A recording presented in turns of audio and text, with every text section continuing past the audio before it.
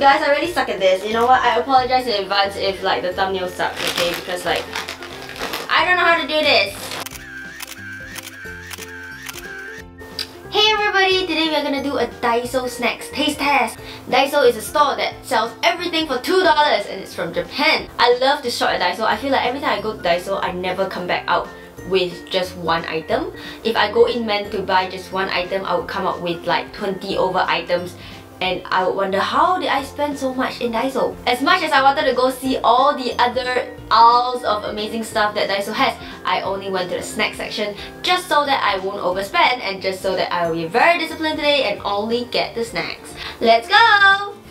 I spent $20 in Daiso and we got 10 snacks so we're gonna dig in and see which one is worth it, which one is not, which one is nice, which one is not, which one is worth to eat it, which one is not. Does which one is not sound a bit weird to you but okay you know what we're gonna start with this snack this is the fried rice cracker seasoned with sweet soy sauce. Soy sauce. Soy sauce. I always call it soy sauce. Who says it's soy sauce when it's soy sauce? Oh, wait, wait, wait. Why do I always call it soy sauce? Where did the soya come from? Is it soy sauce? Is it always soy sauce? Have I been always calling it soy sauce when it's soy sauce? Oh my god, what is wrong with me? Okay, the fact that it says here, sweet soy sauce, makes me wonder like is it gonna be salty or sweet? If it's soy sauce, it should be salty. They say it's sweet soy sauce, it should be sweet and salty. Like, anyway, we're gonna give it a try and see whether it's really nice. Oh my god.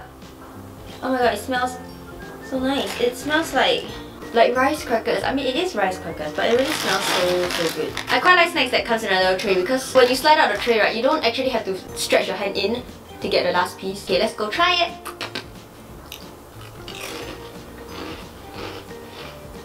Mmm, it is rice cracker, so it tastes like rice cracker. The sweet soy sauce thing, I think it's not say very sweet.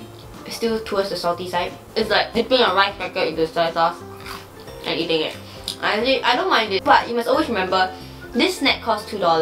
Although it looks like quite a big packet, it's not that big. If you're gonna buy potato chips outside, it would cost less than $2. But I mean, you don't get the variety of rice crackers in Giant. Verdict, this is nice still okay for $2 ah. It's not the kind of snack that I would immediately puke. In fact, all my snacks I wouldn't puke because I get the nicer ones. Like guys, why waste your money on getting snacks that you wouldn't like? I'm gonna eat these after this whole video. Why get the snack that I won't finish, right? Next, we have another rice cracker in soy sauce flavor.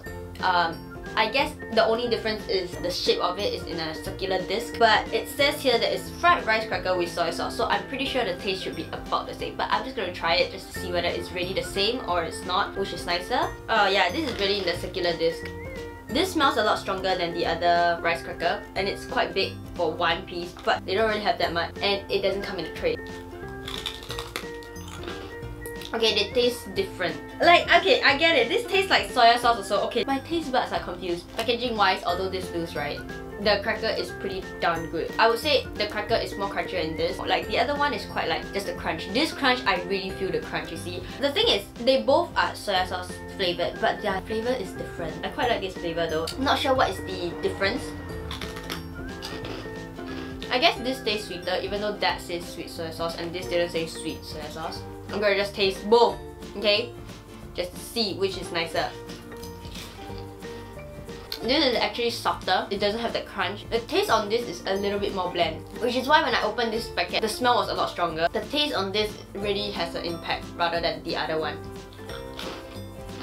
Mm. I would say I honestly enjoyed this one more because um, the taste the crunchiness, everything is better in this. But the packaging is better in this. They have a tray. Like, I'm so obsessed with trays now. So Boda rice crackers, apparently they're different. Now we know. Next, we have the Jagabee look-alike fries, but it's not in a cup, it's in a, just a packet form. It's like french fries, you know the fried french fry, the crispy french fries that Jagabee has. I'm pretty sure it was the seaweed flavor one that I was obsessed with. This is just one packet for $2. This is quite small. You know, if you compare this with the previous packaging, right, this is really tiny. Like $2 seriously and mostly it's air because like the entire top is nothing. It's only the bottom half, this part here, that has fries. I'm just gonna try it, see whether it's worth the $2 and like whether it can even compete with the Jagabee one. Oh my god, it smells like, you know the Korean honey butter chips? It smells like that. Wait, this is a word. Fried potato butter taste. Oh, no wonder I can smell the butter inside. Okay, okay, okay, okay. That makes sense. It really smells like butter in here. Why do I taste fish in this? Oh my god, wait, is that fish? Mm-mm, no fish, cheese. You know what? There's this Chef Ramsay always have this taste test challenge thing where they blindfold you and they make sure you cannot hear anything and you just eat what they put into your mouth and you have to guess what's that, right? I think I'll fail that because I have no idea what I'm eating. Like most of the time, I have to see it before I know, oh, this is supposed to taste this way and my brain like processes it. If not, I will be like this, like, do I taste fish inside when there isn't? Probably it's cheese. I think the salty taste that I taste is from cheese. So you know what? You can do a blind taste test challenge on me. Put cheese and I'll tell you it's fish. Put fish and I'll tell you it's cheese. How interesting is that? Okay, anyway, verdict on this, it doesn't win the Jagabee one. I think the seasoning on this is very, very minimal. It's just enough for you to know that you're eating not just plain fries. It's a bit bland, yeah. That's the that's the reason why. Honestly, $2 for so little fries inside, right? I don't think it's worth it. So next we have another snack. Oh my Umaiwa. Umaiwa. Umaiwa? Umaiwa. Umaiwa Yasai Salad. This was recommended by my colleague quite a while back. She said that this was nice. It's like a salad vegetable snack. This is kind of like the super ring shape. Let's try it! It smells like... I cannot think of any other thing to compare it with. You just open it and you just know that it's gonna taste salty because it smells very salty. Okay, I'm not making any sense right now. You know what? I'm just gonna eat. I'm just gonna try it. It tastes really good. Very, very mild heat inside, but it has mainly very salty taste. You know the pica vegetable chip, the squarish, squarish kind, the vegetable one, it tastes like this. Very, very pleasant, salty taste. But it's a lot of quantity inside here. I don't think you can finish the whole thing without getting sick of it. Every single ring that I ate packs a punch. The taste just bursts in your mouth the moment you eat it. It's not very hard crunchy, it's a soft crunchy kind of feeling. You should really go try it at least once in your life. Finally, we have the last salty snack. So we are gonna end our salty journey with this lightly salted potato chips in a can. It's actually a very tiny tin compared to like Pringles. Lightly salted, I'm gonna just give myself a mental prep that this is not gonna be so salty. So let's try it out. You know what? The good thing is, it's resealable. Hey, it really looks like Pringles. Like the whole entire shape is a Pringle. Okay, it tastes different. The chip itself tastes more potatoey than Pringles. They are not kidding when they say it's slightly salted. This is like a bland potato chip, but actually inside it really legit looks like potato chip. And I'm not kidding you, this one really no taste one. This is like for the healthy people. So that brings us to the end of the salty snacks. Now let's go on to the sweet ones. So here, we have the Harvest Caramel Taste of Almond Biscuit. I think it comes in a packet because I can see it from the corner here. It looks like it comes in a packet of four. Yeah, so it comes in quite a lot of packets. I think 8 packets in this. So $2, I think quite okay lah, not so bad. It looks like there's a bit of sugar bits on the biscuit itself. It's not as thin as I thought it is lah. Okay, it's still quite thick. Smells... Oh, it smells so almondy. Oh my god, it smells like a very sweet treat. It smells like, you know the Christmas butter cookies that comes in a tin? When you just open it, it smells like this. I can taste the almond. I like sweet treats so much. This is sweet. I love it. My verdict is, is nice. I can taste the caramel. I can taste the almond. I taste the almond first before I taste the caramel, but the caramel lingers. It's not too sweet. It's not like sickeningly sweet. There's a little bit of sugar bits inside, so I don't think that you should eat face down. The other side has no sugar bits. So if you don't want the sugar base to drop, it looks like stuck to it. But I'm just gonna eat it face up. This is the kind of biscuit that you eat four pieces, you'll be full already. Because it comes in little packets, you can drop it in your bag and bring it around with you. Eat it whenever you're hungry. I think it's really worth it. Next, we have the caramel corn. This is something that almost everybody knows. I grew up eating this. Give me a second. I need Did you just say bless you to me? I always eat the corn bit, but I never touch the peanut. I just happen to really want to eat it. So I just bought it. Where are all the peanuts? Like, are you guys seeing this? There is no peanuts at all in this. Where's the peanuts? Where? Where are the peanuts? Okay, you know what? Then again, I don't eat the peanuts, so that's fine with me. But like, those who open it hoping to see like a bit of peanuts inside, they're gonna be super darn disappointed. Seriously, this is so sad. It smells like very nostalgic. I can smell the peanut inside this. Although the packet seems small, it's quite full to the brim. Since I don't eat the peanut, I'm not complaining here that they don't have the peanut in this, so I'm just like, gonna just eat it. Super soft. It's like it dissolves in your mouth with the caramel like mm, coating your whole mouth. If you have never tried it before, I suggest you go and try it. But is quite sweet. It's sickeningly sweet. In the first few mouths, you'll be like, oh my god, I love it so much. But after that, you're just like, this, this is so sickening.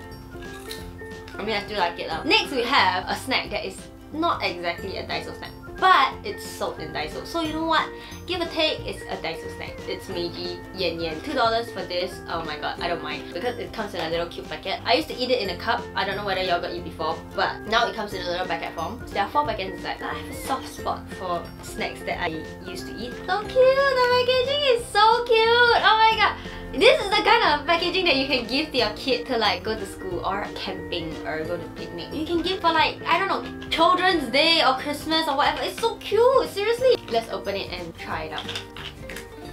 So it comes in like a tray with like short little sticks. I used to remember the sticks were super long. Chocolates in the other container. So I'm just gonna try it. It smells exactly like the Yan Yan, the cup one.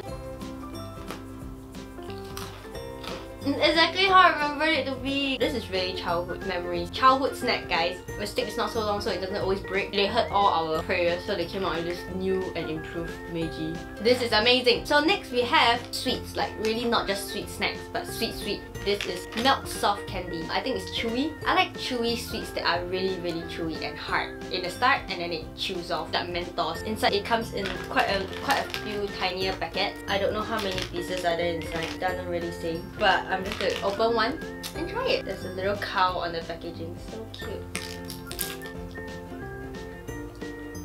Mm-mm.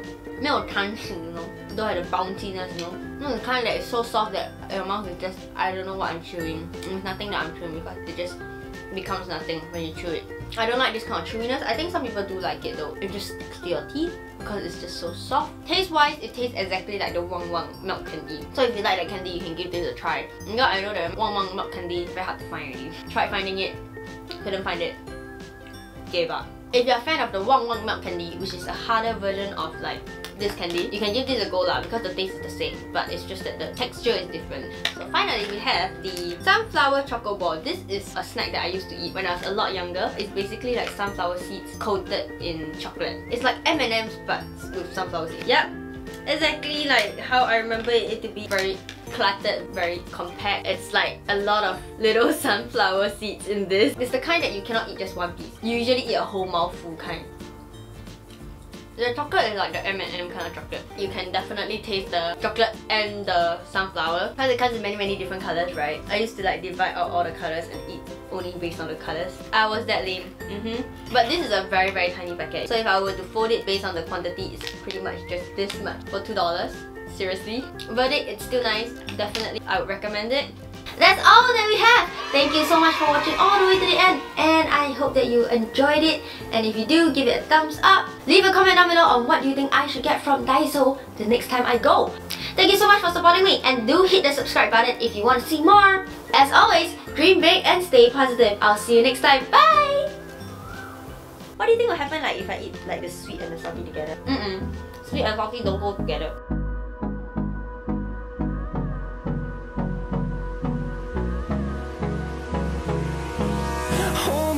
close till I get up. Time is barely on our side.